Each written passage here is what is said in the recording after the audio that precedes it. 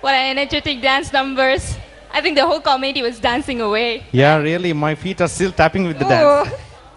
So, ladies and gentlemen, hope you have enjoyed this superb dance. And please sit back, hold tight.